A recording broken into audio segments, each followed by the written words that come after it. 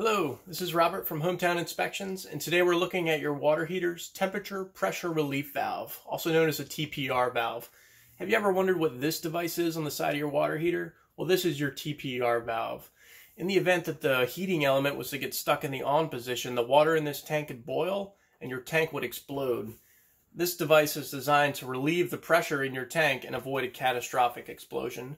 A couple of things that we commonly see on water heaters is that the extension pipe on your TPR valve is missing. This pipe is here in case the valve were to open, it would prevent hot water from splashing at you. We always want to make sure that this pipe is pointing down and is unobstructed and is within six inches of the floor. That's here. Well, that's it for now.